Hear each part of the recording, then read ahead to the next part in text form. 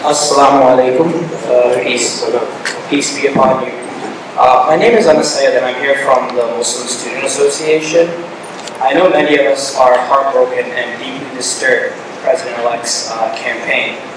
And the thing is, only through adversity can we come out closer together and stronger. So I just want everyone here to know the Muslim Student Association has your back, and I know all of you guys have ours.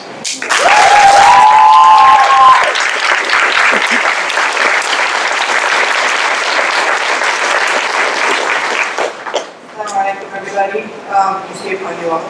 Uh, my name is Sarah, um, and just like many of you, I can't be more thankful to be part of a community that's so supportive, so welcoming. I really appreciated that in my four years here. Um, and as long as we continue to support and stand and fight for one another, I think we can get through it.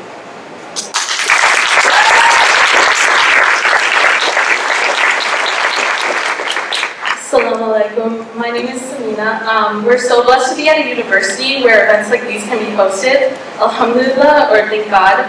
Um, none of us have faced discrimination on this campus, um, and we can't be more thankful for that. And seeing you all here today really puts faith back into my heart, um, because this is the America that I know and, I, and the America that I love. So thank you all for being here today and standing in solidarity.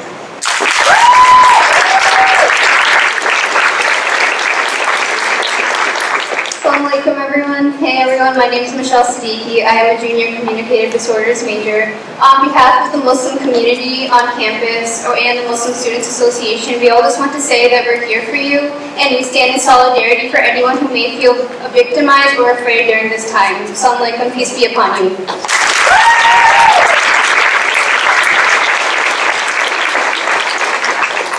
Assalamu alaikum. My name is Lena Sehi and I'm a biology major, junior here.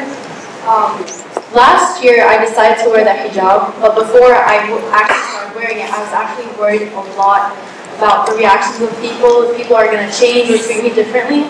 But I just want to say that, alhamdulillah, thank God here, I haven't faced anything, no discrimination. I'm very grateful to be at the University of Rhode Island. And I just want to say, I want to share one of my favorite quotes from the Quran, Inna ma'al usri yusra, which means verily with every hardship comes ease. Thank you.